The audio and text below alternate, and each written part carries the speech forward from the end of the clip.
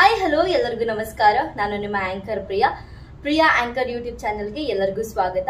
ಇವತ್ತು ನಾನೊಂದು ಒಳ್ಳೆ ಏರ್ ಮಾಸ್ಕ್ನ ಹೇಳಬೇಕು ಅಂತ ಅನ್ಕೊಂಡಿದ್ದೀನಿ. ಏನಕ್ಕೆ ಆ ಏರ್ ಮಾಸ್ಕ್ ಯೂಸ್ ಆಗುತ್ತೆ ಅಂದ್ರೆ, ಮೊದಲನೇದಾಗಿ ಡ್ಯಾಂಡ್ರಫ್ ತುಂಬಾ ಇರೋದಕ್ಕೆ, ಮತ್ತೆ ನಮ್ಮ ದೇಹ ಏನಾದ್ರು ತುಂಬಾ ಹೀಟ್ ಆಗಿದ್ರೆ ಅದಕ್ಕೆ, ಮತ್ತೆ ತುಂಬಾ ಹೇರ್ ಫಾಲ್ ಆಗ್ತಿದ್ರೆ.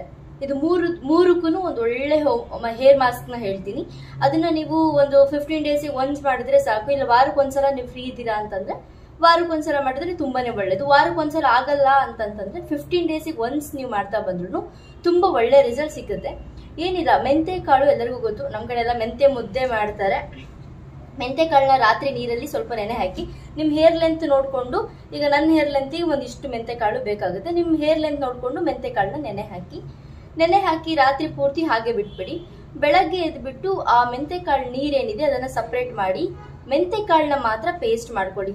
ಆ ಮೆಂತೆ ಕಾಳು ಪೇಸ್ಟ್ನ ಒಂದು ಬೌಲಿಗೆ ಹಾಕೊಳ್ಳಿ ಅದಕ್ಕೆ ಒಂದು ಸ್ವಲ್ಪ ಮೊಸರನ್ನ ಹಾಕೊಂಡ್ಬಿಟ್ಟು ಕ್ಲೀನ್ ಆಗಿ ಮಿಕ್ಸ್ ಮಾಡಿ. ಮಿಕ್ಸ್ ಮಾಡಿ ಆದ್ಮೇಲೆ ತಲೆಯಲ್ಲಿ ಆಯಿಲ್ ಇರಬಾರ್ದು. ಆ ಟೈಮಲ್ಲಿ ಬುಡದಿಂದ ಕೂದು ತುದಿವರೆಗೂ ಅಪ್ಲೈ ಮಾಡಬೇಕು. ಬುಡದಿಂದ ಕೂದಲು ತುದಿವರೆಗೂ ಅಪ್ಲೈ ಮಾಡಬೇಕು. ಅಪ್ಲೈ ಮಾಡಿಬಿಟ್ಟು ಒಂದು ಟೂ ಮತ್ತೆ ಟೂ ಆ್ಯಂಡ್ ಹಾಫ್ ಅವರ್ಸ್ ಅಷ್ಟು ಬಿಟ್ಬಿಟ್ಟು ನೀವು ಹೇರ್ ವಾಶ್ ಮಾಡಬೇಕು. ನೀವು ನಾರ್ಮಲ್ ಆಗಿ ಯಾವ ರೀತಿಯಾಗಿ ಹೇರ್ ವಾಶ್ ಮಾಡ್ತೀರಾ? ನೀವು ಯಾವ ಶ್ಯಾಂಪು ಯಾವ ಸೋಪು ಯೂಸ್ ಮಾಡ್ತೀರೋ ಅದನ್ನ ಮಾಡಿ. ಬಟ್ ಶ್ಯಾಂಪೂನ ನೀವು ಎಷ್ಟು ಜಾಸ್ತಿ ಯೂಸ್ ಮಾಡೋಕೆ ಹೋಗ್ಬಿಡಿ. ಸ್ವಲ್ಪ ಶ್ಯಾಂಪೂವಲ್ಲೇ ಹೇರ್ ವಾಶ್ ಮಾಡ್ಕೊಂಡು ಬನ್ನಿ.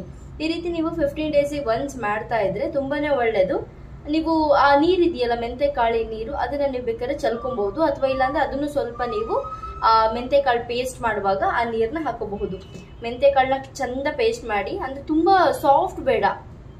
ತುಂಬಾ ನೈಸ್ ಆದ್ರೆ ಅದು ತಲೆ ಕೂದಲಿ ಕ್ಲೀನಾಗಿ ಕುತ್ಕೊಳ್ಳಲ್ಲ ಸೊ ಸ್ವಲ್ಪ ರಫ್ ರಫ್ ಆಗಿ ಇರಲಿ. ಅದಕ್ಕೆ ನೀವು ಮೊಸರು, ಮನೆ ಮೊಸರು ಆದ್ರೆ ತುಂಬಾನೇ ಒಳ್ಳೇದು. ಅಥವಾ ಪ್ಯಾಕೆಟ್ ಮೊಸರು ಅಂದ್ರೆ ಏನು ಮಾಡೋಕ್ಕಾಗಲ್ಲ, ಈಗ ಇಲ್ಲ, ಅದೇ ಸಿಕ್ಕೋದು.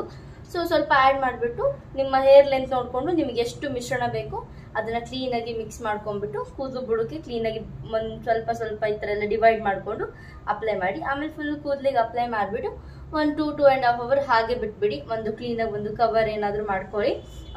ಹೇರ್ ಕ್ಯಾಪ್ ಅಂತ ಶವರ್ ಕ್ಯಾಪ್ ಅಂತ ಬರುತ್ತೆ. ಅದನ್ನು ತೊಗೊಂಡ್ಬಿಟ್ಟು ಕ್ಲೀನಾಗಿ ಕವರ್ ಮಾಡ್ಕೊಳ್ಳಿ. ಟೂ ಆ್ಯಂಡ್ ಹಾಫ್ ಅವರ್ ಹಾಗೆ ಬಿಟ್ಬಿಟ್ಟು ಕ್ಲೀನಾಗಿ ನೀವು ನಾರ್ಮಲ್ ಆಗಿ ಯಾವ ರೀತಿಯಾಗಿ ಹೇರ್ ವಾಶ್ ಮಾಡ್ತೀರಾ ಹೇರ್ ವಾಶ್ ಮಾಡ್ಕೊಂಡು ಬನ್ನಿ. ಹೇರ್ ವಾಶ್ ಮಾಡ್ಕೊಂಡು ಕಂಡೀಷ್ನರ್ ಯೂಸ್ ಮಾಡಬೇಡಿ. ಅಂದರೆ ಯಾವುದೇ ಒಂದು ಹೇರ್ ಮಾಸ್ಕ್ನ ಯೂಸ್ ಮಾಡಿದಾಗ ಹೇರ್ ಕಂಡೀಷ್ನರ್ನ ಯೂಸ್ ಮಾಡಕ್ ಹೋಗ್ಬೇಡಿ. ಬರೀ ಶಾಂಪು ಅಥವಾ ಸೋಪು ಯಾವ್ದು ಯೂಸ್ ಮಾಡ್ತಿರ್ತೀರೋ ಅದರಲ್ಲಿ ನಾರ್ಮಲ್ ಆಗಿ ಹೇರ್ ವಾಶ್ ಮಾಡ್ಕೊಂಡು ಬನ್ನಿ. ಸ್ವಲ್ಪ ಶಾಂಪೂನ ಕಡಿಮೆ ಯೂಸ್ ಮಾಡಿ.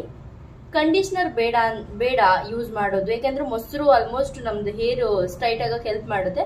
ಕಂಡೀಷನರ್ ಅವಶ್ಯಕತೆ ಇಲ್ಲ. ಸ್ಮೂತ್ ಆಗಕ್ಕೆ ಮತ್ತೆ ಸಿಲ್ಕಿ ಆಗಕ್ಕೆ ನಮ್ ಮೊಸರೇ ತುಂಬಾ ಚೆನ್ನಾಗಿ ಹೆಲ್ಪ್ ಮಾಡುತ್ತೆ.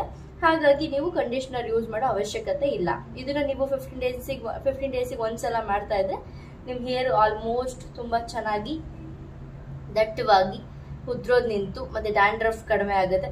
ನಿಮ್ಮ ಹೇರ್ ತುಂಬಾ ಚೆನ್ನಾಗಾಗುತ್ತೆ ಇದೇ ರೀತಿ ಒಳ್ಳೊಳ್ಳೆ ವಿಡಿಯೋಗಳಿಗಾಗಿ ಪ್ರಿಯಾ ಆಂಕರ್ ಯೂಟ್ಯೂಬ್ ಚಾನಲ್ನ ಸಬ್ಸ್ಕ್ರೈಬ್ ಮಾಡಿ ಲೈಕ್ ಮಾಡಿ ಶೇರ್ ಮಾಡಿ ಪ್ಲೀಸ್ ಸಪೋರ್ಟ್ ಮಾಡಿ. Thank you